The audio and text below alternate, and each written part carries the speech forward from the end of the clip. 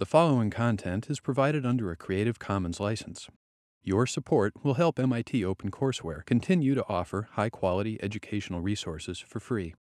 To make a donation or view additional materials from hundreds of MIT courses, visit MIT OpenCourseware at ocw.mit.edu. Today we are introducing an exciting new pledge in 6034. Anyone who has already looked at any of the neural net problems will have easily been able to see that even though Patrick only has them back up to 2006 now, there still are, well, out of four tests, perhaps two or three different ways that the neural nets were drawn. Our exciting new pledge is we're going to draw them in a particular way this year. And I will show you which way, assuming that this works. Yes. We are going to draw them like the way on the right. The one on the left is the same as the one on the right. At first, not having had me explain the um, difference between the two of them, you might think you want the one on the left, but you really want the one on the right.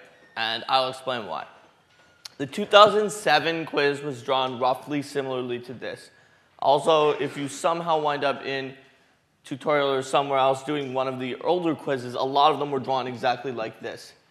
In this representation, one thing I really don't like is that the inputs are called X's and the outputs are called Y's, but like there's two X's, so the inputs are not X and Y, and then they often correspond to axes of a graph, and then people get confused.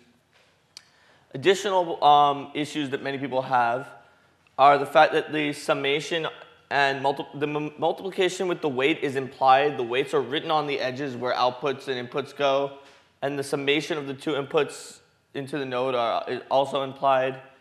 But take a look here. This is the same net. These, um, these W's here would be the W's that are, um, these W's here would be the W's that are written into, um, onto these lines are here. Actually, the better way to draw it would be like, better way to draw it would be like so, since each of these can have their own W, which is different. So each of the W's that are down here are being explicitly sent through a multiplier, whereas here you just had to remember to multiply the weight by the input that was coming by. Here you see an input comes to a multiplier, you multiply by the weight. Then, once you've multiplied all the inputs by the weight, you send them through a sum. That's so the sigma is just a sum. You sum them, add them all up together, send the result of that into the sigmoid function, our old buddy, 1 over 1 plus e to the negative whatever our input was, with a weight for an offset. And then we send the result of that into more multipliers with more weights, more sums, more sigmoids. So this is how it's going to look like on the quiz. And this is a conversion guide from version, you know, 0.9 beta into version 1.0. So if you see something that looks like this on one of the old quizzes that you're doing, See if you can convert it and then solve the problem. Chances are, if you can convert it, you're probably going to do fine. So, we'll start off not only with this conversion guide, but also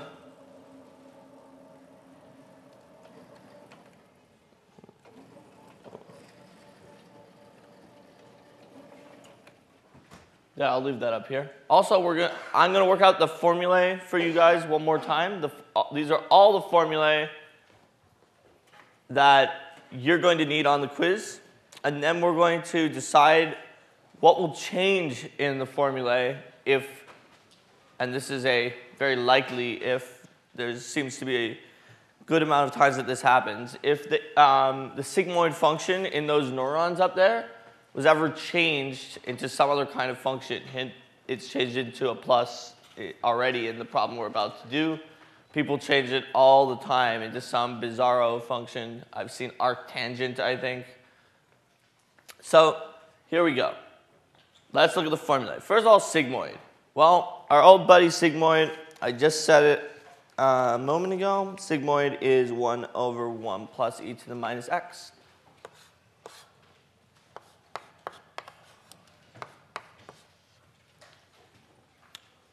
Also, fun fact about sigmoid, um, the derivative of sigmoid of sigmoid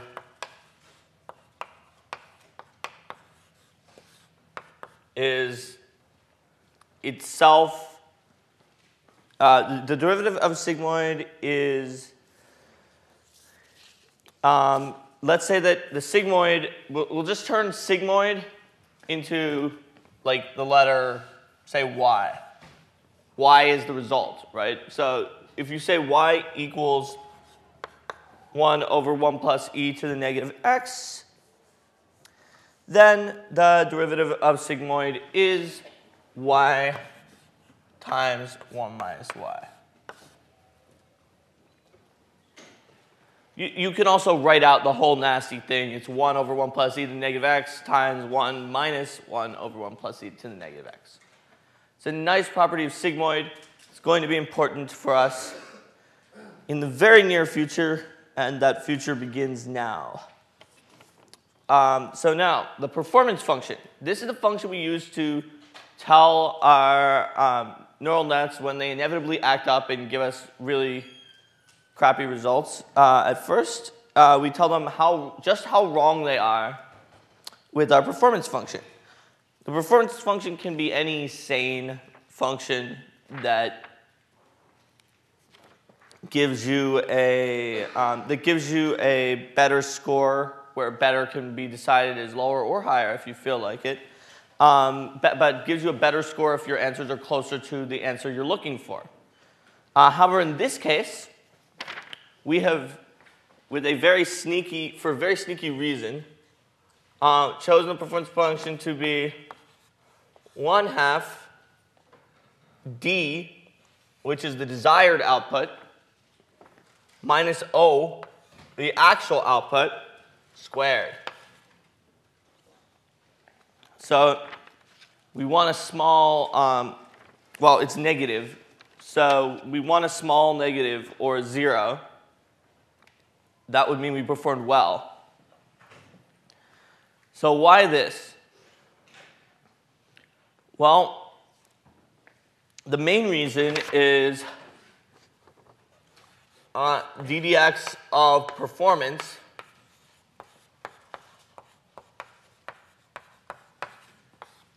is the 2 comes down. The O is the variable that we're actually D'ing, so maybe I should say DDO.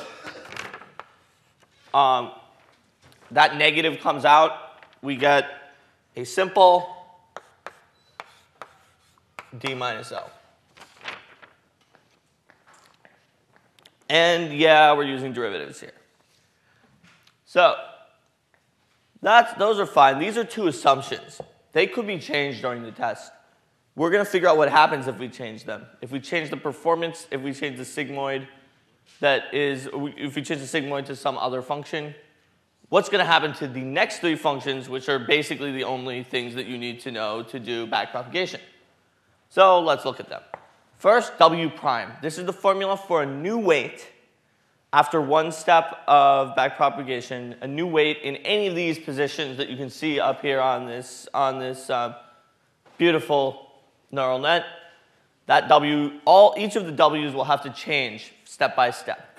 That's in fact how you do the hill climbing neural nets. You change the weights incrementally, you step a little bit in the direction towards giving you your desired results until eventually, you hope, you have an intelligent neural net. And maybe you have many different training samples that you run it on in a cycle, um, hoping that you don't overfit to your one sample on a computer. But on the test, we won't, probably will not do that.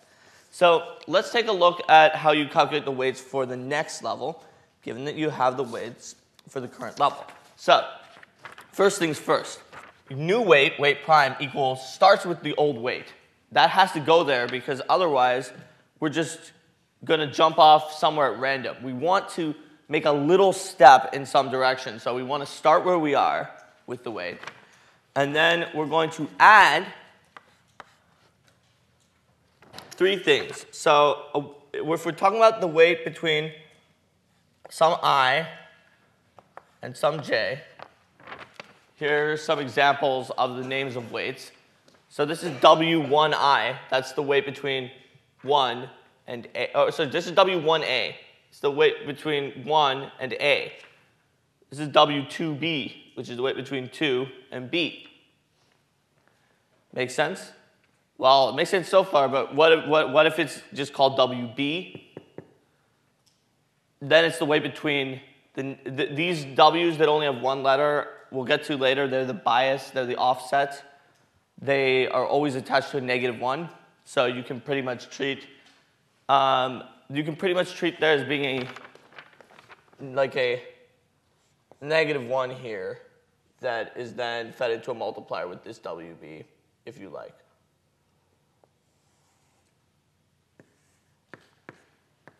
This is implied to be that. All of the offsets are implied to be that. So, W plus some alpha. Why is it a Greek letter? Where does it come from? How do we calculate it? Well, alpha is just some um, value told to you on the quiz. You'll find it somewhere. There's no way you're going to have to calculate alpha. You might be asked to try to give a say in alpha, but probably not. Alpha is supposed to give the size of our little steps that we take when we're doing hill climbing. Very large alpha, take a huge step. Very small alpha, take tentative steps. So alpha is just there to change, basically to change this answer in um, make to make the new value either very close to w or very far from w, depending on our taste. So plus alpha times um, i so I is the value coming in. Um, yeah, I is the value coming into the into the node. We're changing the weight here. So I is the I is the value, for instance, I sub one here. I would be the I would be the value at WAC. I would be the value coming output of W of um, of node A. At WBC, I would be the output of node B. I is sometimes specifically labeled as I. I is the input coming in to meet that weight at the multiplier.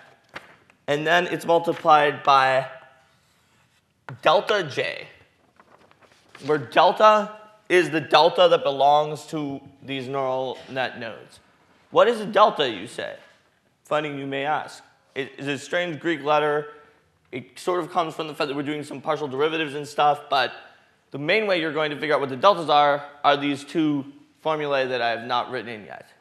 So hold off on um, um, trying to figure out what the delta is until, well, right now, because I'm about to tell you what the delta is. So the delta is basically, think of the delta as using partial derivatives to figure out which way you're going to step when you're doing hill climbing. Because you know when you're doing hill climbing, you like look around, you figure out, okay, this is the direction of the highest increase, and then you step off in that direction. So the deltas are sort of telling you which way to step with the weights. And the way they do that is by taking the partial derivative of, basically you try to figure out how the weight that you're currently looking at is contributing to the performance of the net, contributing to either the good performance of the net or the bad performance of the net. So when you're, when you're dealing with like, when you're dealing with the weights like WBC, WAC that pretty much directly feed into the end of the net, they feed into the last node, it then comes out, it's the output.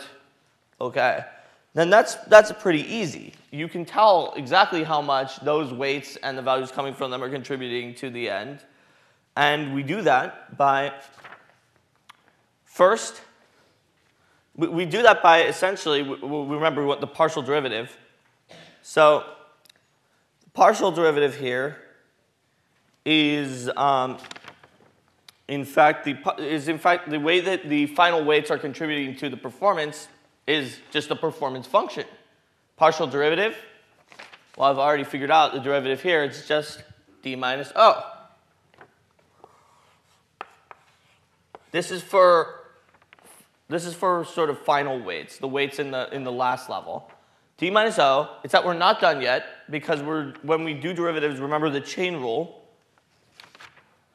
To get from the end to these weights, we pass through. Well, it should be a sigmoid. Here it's not we're going to pretend it is. Pretend it is for the moment. We pass through a sigmoid. And since we pass through the sigmoid, we better take the derivative of the sigmoid function. That is uh, y times 1 minus y. Well, what is y? What is the output of this sigmoid? It's O. So that's also multiplied by O times 1 minus O.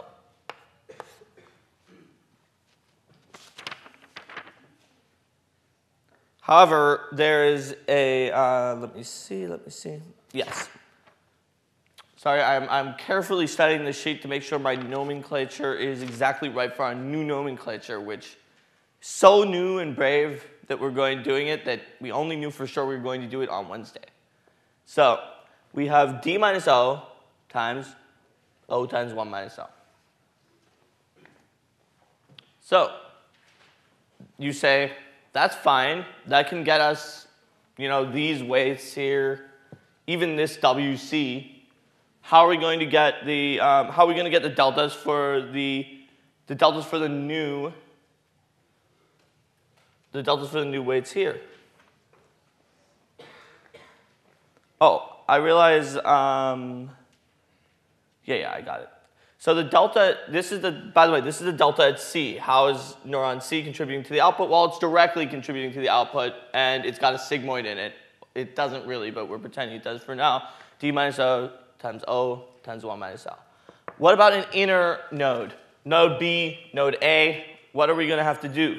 Well, the way they contribute to the output is that they contribute to node C. So we can do this problem recursively. So let's do it recursively. First of all, as you probably figured out, all of them are going to have an O times 1 minus O factor in from the chain rule because they're all sigmoids. Well, pretending that they're all sigmoids. So we actually have a dearth of good problems that are actually sigmoid on, uh, on the web right now. There's only 2007. But um, here's O times 1 minus O. So what are we going to do for the rest of it? How does it contribute to our final result? Well, it contributes to our final result recursively. So we're talking about delta i. i is an inner, is sort of an inner node. It's not, at, it's not a final node. It's somewhere along the way. So sum over j of w going from i to j uh, times delta j. Now, sum over all j, j such that i leads to j. I need to have a direct path into j. So if I, if I, in this instance, was a, everyone, the only possible j in this would be c. That's right. We would not sum over um, b as one of the j because i does not lead to, to b. Or a does not lead to b, a only leads to c. Also note that c does not lead to b here, that's going backwards. So you just, to figure out which j you're looking at, look directly forwards at the next one. So if there was another d here or something like that, a does not go to d, a goes to c. You only look at the next, Then you look at the next level's children, and you sum over all of those, all of those children, the weight between them multiplied by the child's delta. That makes sense, right?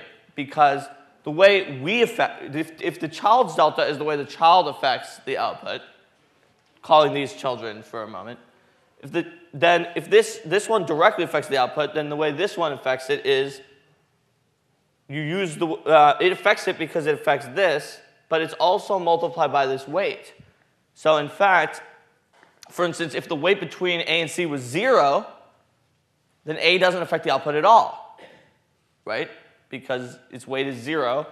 And when we do this problem, we go this times zero, and then we try to add it in there. It doesn't affect anything. If its weight is very high, it's going to really dominate. Um, it's going to really dominate it, see? And that is taken into account here, and then multiplied by the delta for the right node. So, pose the following question, and since I spent a lot of time with formulae and not that, many time, that much time um, starting on the problem, I will not call on someone at random, but rather take a volunteer. And if no one volunteers, I'll eventually tell you, which is we've got some nice formulae for, uh, on the bottom three. If we change the sigmoid function, what has to change?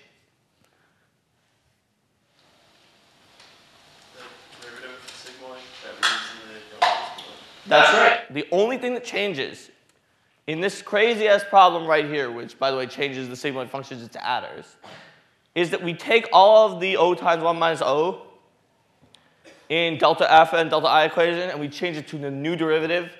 We then do the exact same thing that we would have done. Correct.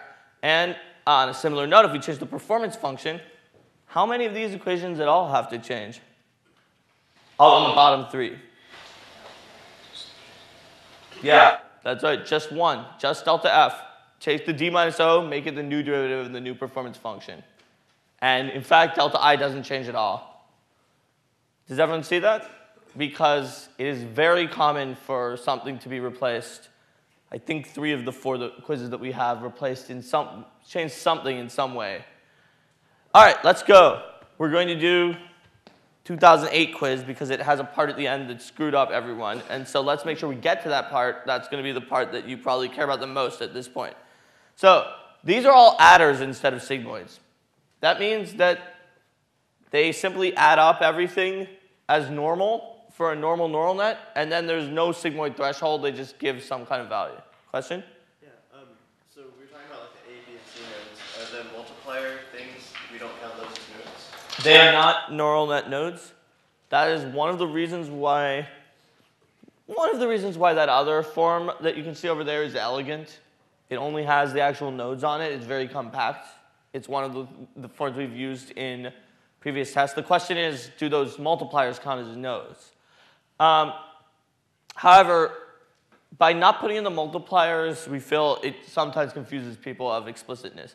The ones that are nodes will always have a label like A, or here you see there's a sigmoid and an L1. Um, the multipliers are there for your convenience to remind you to multiply, and also those, if you look those sigmas that are over there, you're there for your convenience to remind you to add.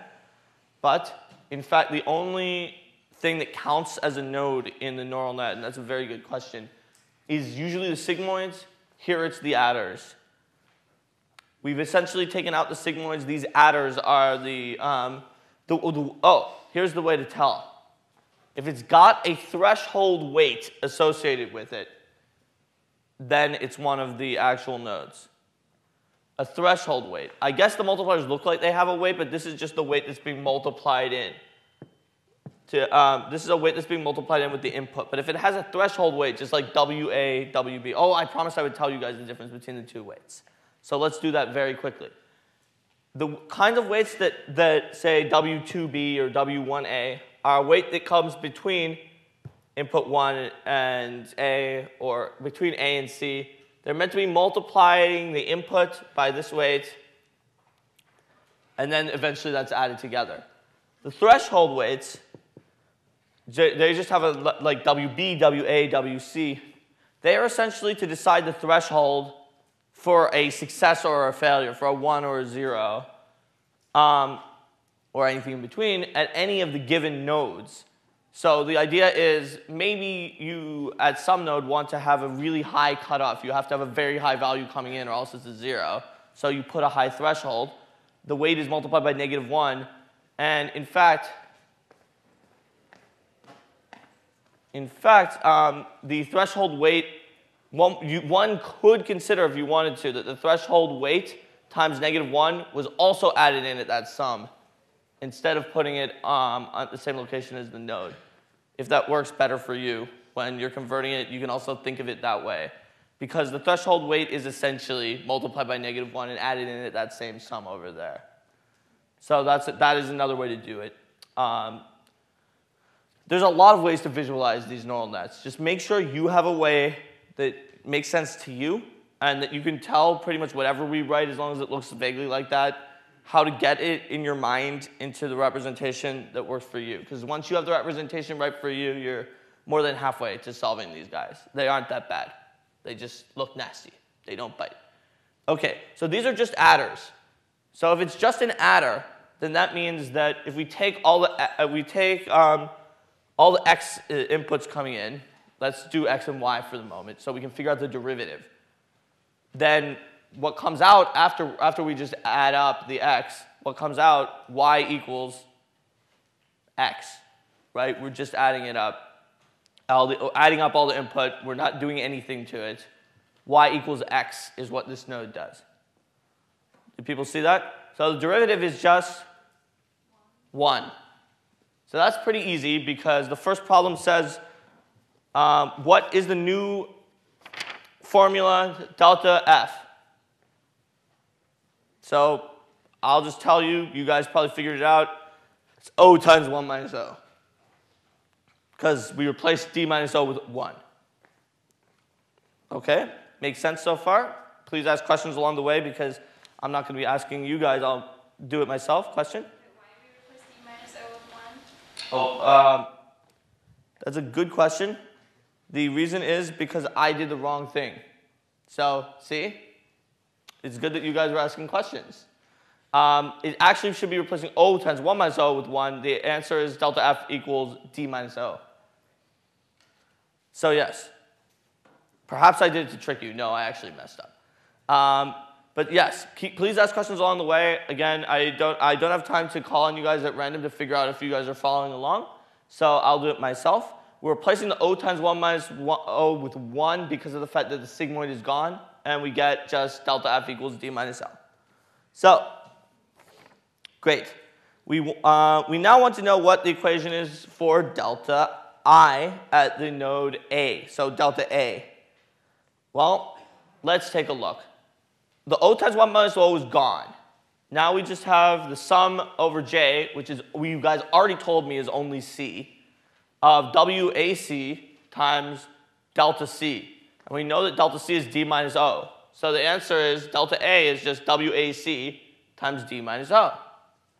That time I got it right. So I see the answer here, though it's written in a very different format from the old quiz. Any questions on that? Well, that's part A that we finished out of C. Let's go to part B. Part B is doing one step of backpropagation. There's almost always going to be one of these in here. So, the first thing it asks is to figure out what the output O is for um, this neural net if all weights are initially 1 except that this guy right here is negative 0.5. All the other ones start off as 1. So let's do a step. Oh, what, also let's see what are the inputs. The inputs are also all one. The desired output is also one. And in fact, the rate constant alpha is also one. This is the only thing that isn't one, folks. So let's see what happens. 1 times 1 is 1. Then this is oh, negative 1 times 1 is negative 1. That's 0. The exact same thing happens here because it's symmetrical. So these are both 0. 0 times 1 is 0. 0 times 1 is 0. Then this is negative 1 times negative 0.5 is positive 0.5. So 0 plus 0 plus positive 0.5, the output is positive 0.5. Does everyone see that?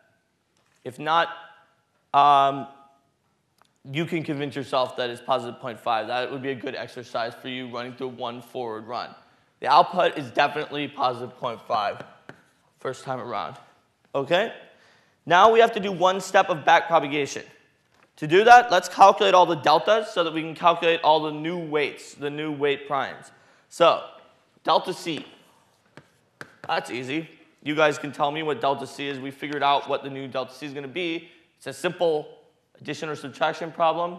Everyone, delta C is 0.5, 1 half. Yes. All right. And we know that delta A and delta B are just WAC times delta C and WBC times delta C. So they are also 1 half because all the weights were 1. Easy street. Okay. We've got all the deltas are 1 half, and all but a few of the weights are 1. So let's figure out what the new weights are. So, okay. New WAC. Okay. So, yeah, so let's see. What's going to be the new WAC? So the new WAC is going to be old W, uh, uh, so old WAC, which is 1, because all of them are 1 except for WC, plus the rate constant, which is 1, times um, the input coming in here. But remember, that was 0. So actually, it's just going to be the same as the old WAC. And since this is a symmetrical problem between B and A at the moment, uh, this is going to be the same. All right. Some things are going to change, though. What about WC? That was the one that was actually not 1.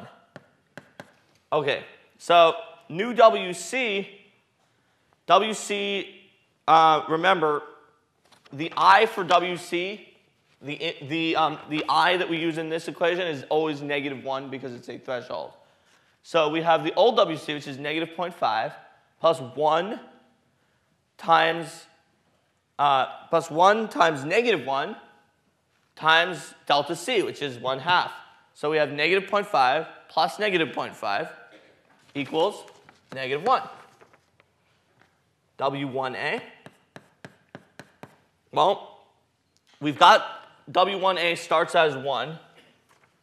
Then we also know that um, we're W1A is going to be equal to 1 plus 1 times the input, which is 1, times um, delta of A, which is 1 half. So 1.5.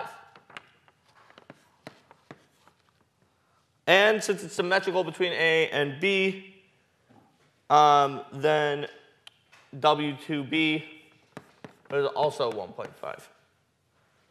And then finally, WA and WB, the offsets here, well, they start at 1 plus 1 times negative 1 times 0.5. So they're, they're both, everyone? One half, that's right.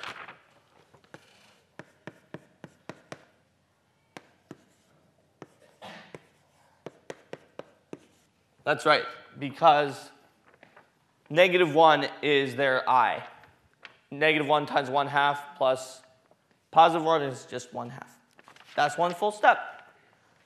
Maybe a mite easier than you might be used to seeing, but that's a full step. And it asks what's going to be the output after one step of backpropagation. Well, we can take a look. So we have 1 times the new W1A, which is 1.5. We've got 1.5. Then the new WA is just 0.5. 9 is Minus 0.5, that's a 1 coming into an adder. We've got another 1 coming in here because it's symmetrical. So a 1 and a 1. 1 times WAC is 1.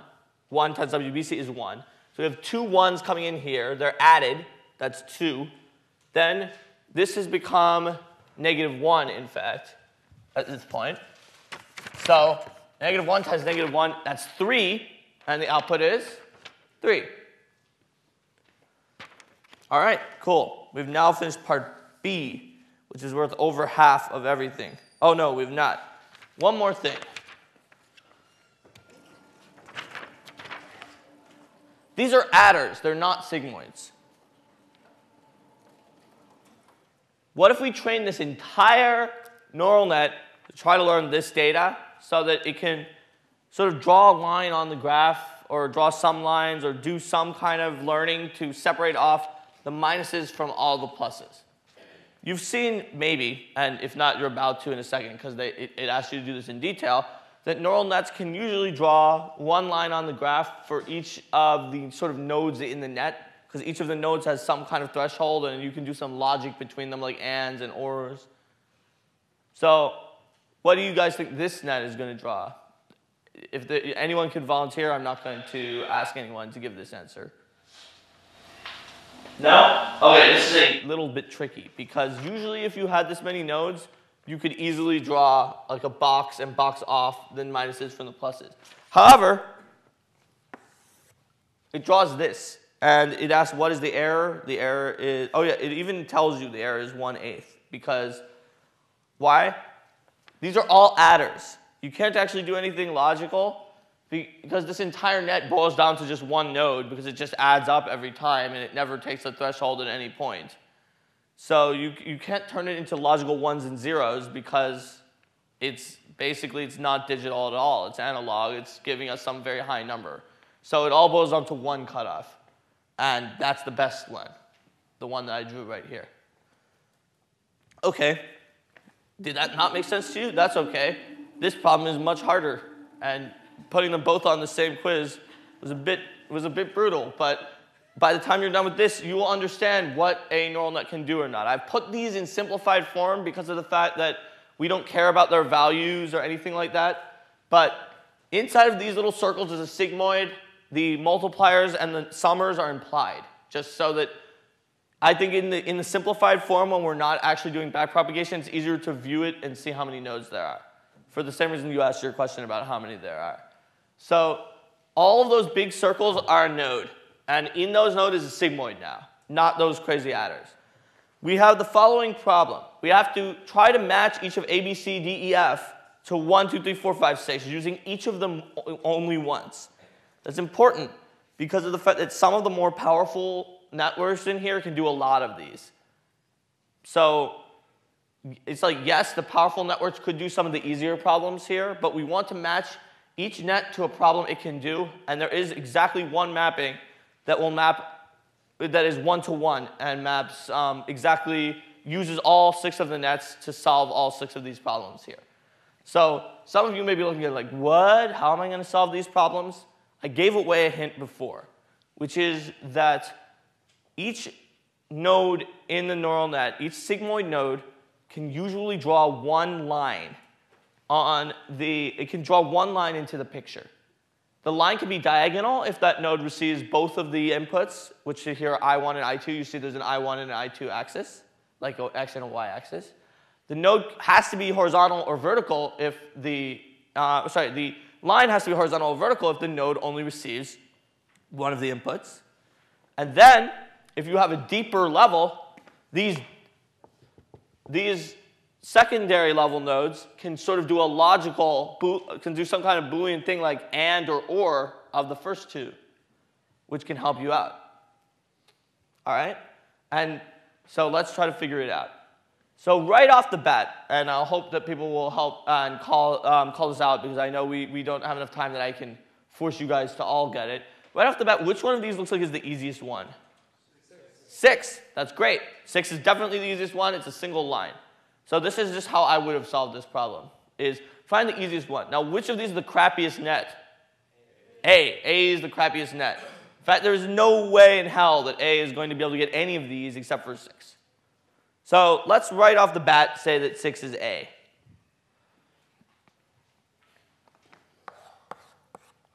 All right, 6 is A. That's A. We don't have to worry about A. Okay, cool. Now let's look at some other ones that are very interesting. All the rest of these draw two lines. Well, these three draw two lines. These three draw three lines. They draw triangle. So, despite the fact that this C is a very powerful neural net indeed, with three whole levels here of sigmoids, it looks like there's only two nets in our little stable of nets that are equipped to handle number one and two. And those are E and F. Because E and F have three nodes at the first level, they can draw three lines, and then they can do something logical about those lines, like for instance, maybe if it's inside all of those lines.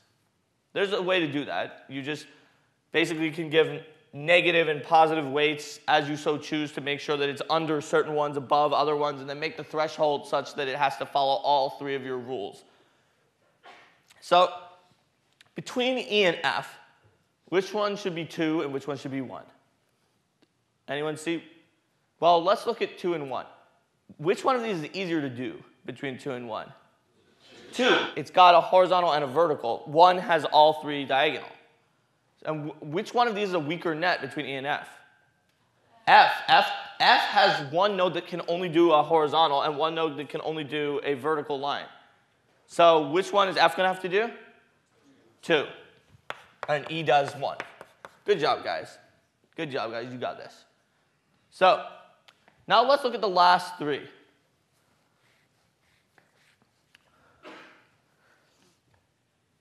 Number three is definitely the hardest. It's an XOR. Those of you who have played around with 002 kind of stuff or even just logic probably know that there is no way to, um, to make a sort of simple linear combination of um, in one level of logic to create an XOR. XOR is, is um, very difficult to create. There are um, some interesting problems involving trying to, uh, trying to teach an XOR into a neural net. If the neural net is simple enough, it's just not going to be able to get the XOR because of the fact that you can tell it, okay, I want this one to be high and this one to be low. That's fine. You can say these both have to be high. That's fine. But it's hard to say, like, it's pretty much impossible to say this one or this one, but not the other because of um, need to be high in a single node because of the fact that if you just just play with it, you'll see you need to set a threshold somewhere, and it's and it's not going to be able to distinguish between if the threshold is set such that the OR is going to work, the whole OR is going to work. It's going to accept when both of them are positive as well. So how are we going to do an XOR? We need more logic. We need to use some combinations of ANDs and ORs in a two-level way. And to do that, we need the deepest neural net that we have. There's only one that's capable of that and that is it's C. So you, there are many different ways to do it. Let's think of a possibility. I1 and I2, draw these two lines. Or sorry, not I1, I2. These two, let's call these 1, 2, 3, 4, 5. Of node 1 and node 2, draw these two lines. I'll just sort of draw it here for you guys. Then maybe node 3 gives value to um, yeah, let me see. Node 3 can give value to perhaps, yeah, no, let's see, node 3 can give value to everything that is, oh, I mean, there, there, there are a lot of possibilities here. Node 3 could give value to everything that is up here. Actually, node 3 could give value to everything except for this bottom part. And then um, node 4 could give value to, say, oh no, uh, uh, doesn't do it yet. But there's a few, there's a, there's a few different ways to do it if you played around. The key, um, the key idea is that node 3 and node 4 can give value to some combination of AND, OR, or NOT. And um, then node 5 can give value based on, um, based on being above or below a certain threshold combination of 3 and 4. You can build an XOR out of the logic gates. I will, I will ponder on that in the back burner for a moment um, as we continue onward, but clearly C has to do number 3. Okay, now we're left with 4 and 5. I think intrinsically 5 looks like it may be more complicated than 4 because of the fact that it, ne it needs to do both different directions instead of two of the same direction. However, there's, um, and so however, just the idea of the one with the fewer lines being the simpler one may not get us through here, and there's a reason why. Look what we have left to use. We have to use D or B. What is the property of the two lines that D can draw? D being the simpler one. One horizontal and one vertical, that's right. So even though it may look simpler to just have two horizontal lines, it actually requires B. B is the only one that can draw two horizontal lines because D has to draw one horizontal and one vertical. So that leaves us with B on this, D on this, and excellent, we have a question. I would have thought it, it would have been possible we had no questions, or maybe I just explained this the best I ever have. Question? Uh, all right, so the question is, I don't understand why B has to be two horizontal lines. The answer is, it doesn't. Um, B can be anything, but D can't be two horizontal lines. And so by process of elimination, it's B. Well, take a look at D, right?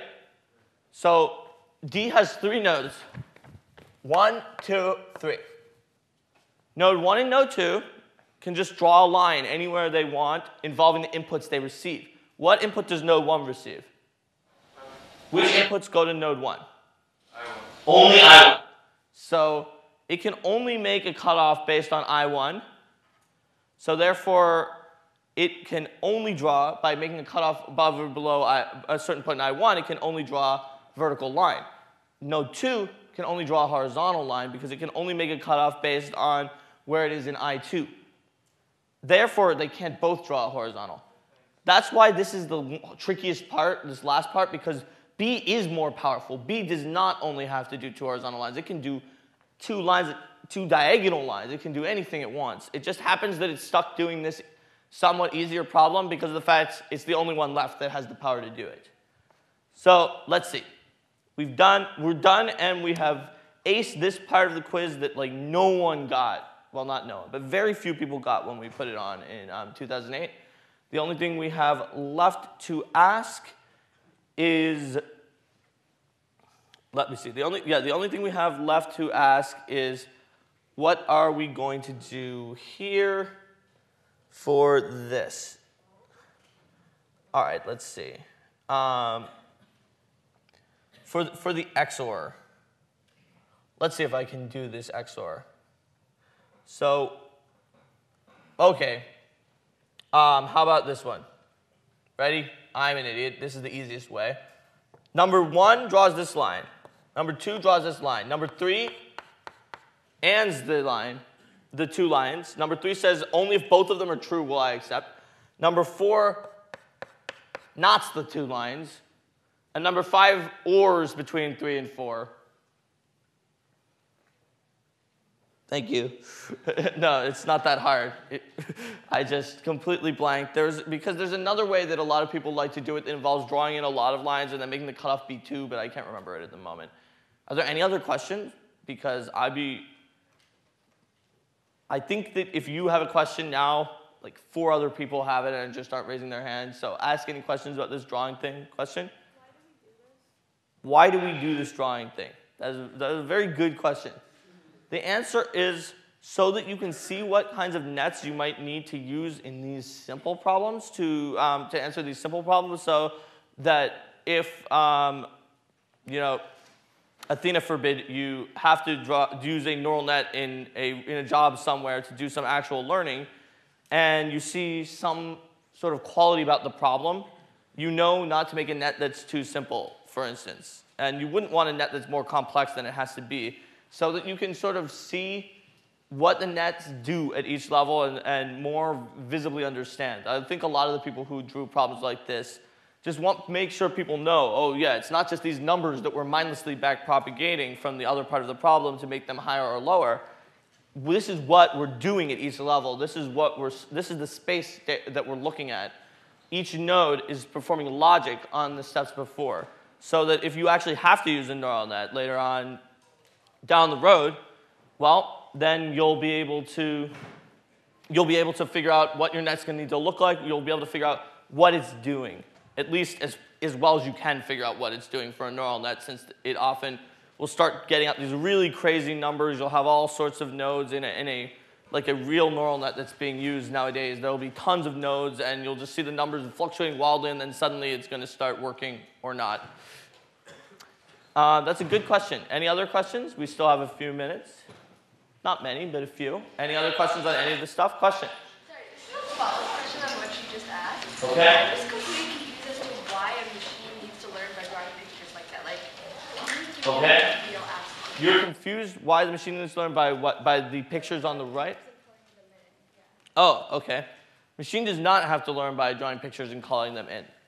Let me give you some real applications. My friend at University of Maryland recently actually used neural nets um, because, yeah, he, he actually did. Um, because of the fact that he was doing a, um, a game playing competition where the game was not known when you were designing your AI. It had to be able to, it, there was some very elegant general game solver thing that you had to be able to hook up into, and then they made up the rules, and you had a little bit of time, and then it started. So some of the AIs, what they did was, they trained once they found out what the rules were on their own with the rules. In his case, he had a neural net because it was so generic.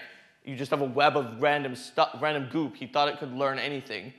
And then um, he never did tell me how it went. It probably didn't go well, but um, maybe it did. Um, it, it, basically tried to, it, try, it tried to learn some things about the rules. Some of the other people who were more principled game players actually tried to find out fundamental properties of the space of the rules by testing a few different things so that they could, you know, more knowledge is less search, so that they could do less search when the actual game playing came on. And then when the actual game playing came on, pretty much everyone did some kind of um, game tree based stuff. He's telling me that a lot of Monte Carlo based um, game tree stuff that is this very non-deterministic is what they're doing nowadays rather than our more deterministic alpha beta, although he said it converges to alpha beta if you give it enough time. That's what he told me. But that's someone I know who is using neural nets. I've also, in a cognitive science class I took, saw neural nets that tried to attach like qualities to objects by having just this huge, huge number of nodes in levels in between, and then eventually it was like a duck flies, and you're like, how is it doing this again? I'm not sure, but it is. So the basic idea is that main, one of the main reasons neural net were used so much back in the day is that people on many different sides of this problem, cognitive science, AI, whatever, were all seeing, wait a minute, there's networks of neurons and they can do stuff. And we're seeing it in different places. And when you see it in so many different places at once, it must be a genius idea that's going to revolutionize everything. And so then everyone started using them to try to connect all of these things together, which I think is a noble endeavor. But unfortunately, people just stopped using it. It didn't work as, as they had wanted. It turned out that figuring out how our neurons worked in our head was not the, um, the way to solve all AI hard problems at once. And they fall into disfavor, although are still used for some reasons like, um, some reasons like that. So we wouldn't use it just to draw these pictures. The reason why we have these pictures is because we give you simple nets that you can work out by hand on the quiz. Um, any net that was really used nowadays would make, eh, would make you, your head explode if we tried to make you do something with it on the quiz. It would just be horrible looking. So I think that's a good question. If there's no other questions, or even if there are, because we have to head out, um, if there's any other questions, you can see me as I'm walking out.